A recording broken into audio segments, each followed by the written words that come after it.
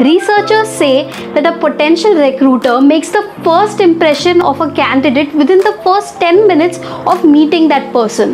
A crisp, power packed resume might bring you to the interview table, but how you present your answers, the way you speak, is what will determine if you'll actually bag the job or not. So, fasten your seatbelts and let's begin. A strong introduction is the first piece of information that is being passed on from you to your recruiter. So, your self introduction plays a crucial role in this entire interview process. A recruiter who's already called you for an interview has probably done at least one cold call with you, therefore, has studied your profile and resume it thoroughly.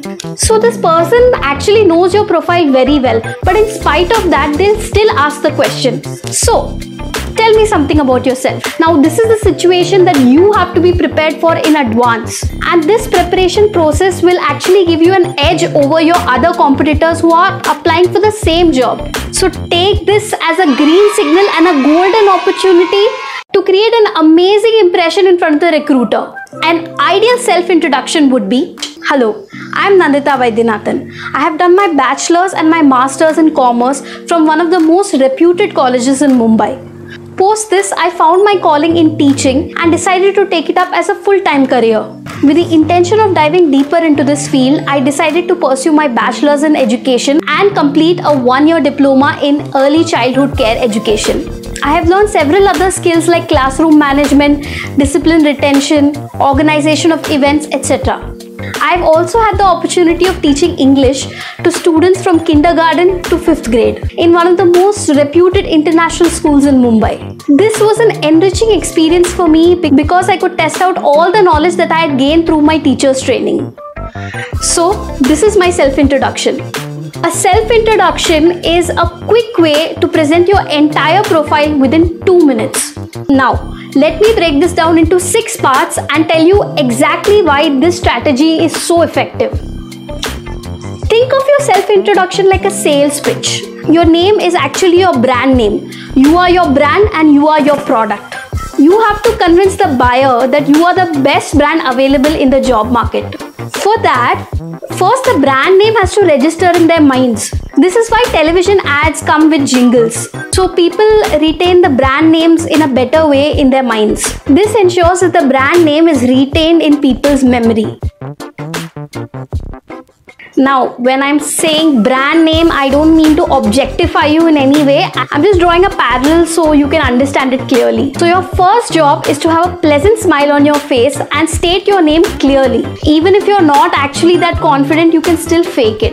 Okay, now you tell me which sounds better. Uh, hi, myself, uh, Nandita. Or Hello, my name is Nandita Vaidyanathan and thank you for the opportunity of meeting you. Doesn't the second option sound better? This is because you have camouflaged all of your tension with a pleasant smile on your face. Simple thing will actually show the recruiter that you are at comfort and ease or at least you're making an attempt to be comfortable. Second, I'm stating all of my qualifications one by one which helps the recruiter understand and believe that you have all the qualifications required for this job and you're not just some rando who's come for an interview. I'm also stating that I have studied in a reputed college, which adds that brand name to my profile. Now, obviously, you're not going to tell them your 10th and 12th marks unless uh, you've just come out of high school. So, when they know that you've been accepted by a reputed college, it's understood that you must have scored well in order to get entry into it. Third, I'm talking about when I found my interest in teaching. So I've clearly stated that right after my college, I found my calling in teaching. So the recruiters know that even if there's a slight change of careers, she has seriously decided to pursue teaching as a real career opportunity. Because all of your claims in being interested in this field is being backed up by your qualifications and your work experience. Pursuing a two year degree, that too after finishing my post graduation, shows that I'm serious about this profession. Now, again, I have proved my interest towards this field by saying that I have also done a one year diploma in ECCED. This makes my profile even more stronger. So, before you go for the interview, actually decide the sequence of how you want to tell all of this. Remember, more than what you say, how you say actually matters the most. Everything is in the how. How effectively you speak, how effectively you answer the questions, the kind of eye contact you make, your body language during the interview, the kind of crisp, clear answers you give. All this makes a hell of a lot of difference in your presentation. So plan, write down your self introduction, stand in front of the mirror and practice giving this self introduction so that during the interview you don't end up stammering. Fourth, I have gone on to list the kind of skills that I have learned during my bachelor's. Apart from, of course, the main skill that is teaching. So, if you're an engineer, you're not going to say, okay, I'm an engineer and just sit there, right?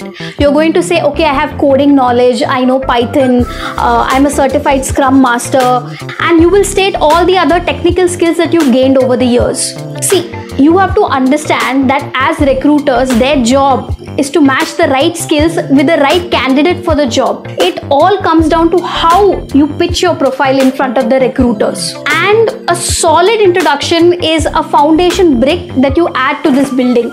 So the sum and substance is mentioning all of the skills that are required for this job is super important. By the way, if you wanted to know how I attracted my dream job in an MNC using the law of attraction and how you can do it too, I have added a playlist at the end of the video. Coming to my fifth point, here I have mentioned my work experience. By saying that you've gained a lot of knowledge from this work experience, you are actually proving that you've put all of this theory that you've learned to test and you've had real time experience of this career. And this is actually a really big deal in the corporate world. Like they say, the proof is in the pudding. So if you want to prove to your potential recruiters that you are indeed a really good cook, then you will have to cook and show them a proof that you actually have all the cooking skills in order to make that perfect dish. If you've liked my video up till this point, then please share my video in your WhatsApp groups. So this might just help someone who's going to give an interview. Now, last but not the least, I am ending my pitch with an irresistible combination of my qualifications being backed up by valid work experience. This is the combination that every headhunter is waiting for. Trust me, the recruiter just wants to close the position and give someone the offer letter. And they'll be sorted for at least a year until that position doesn't become vacant again.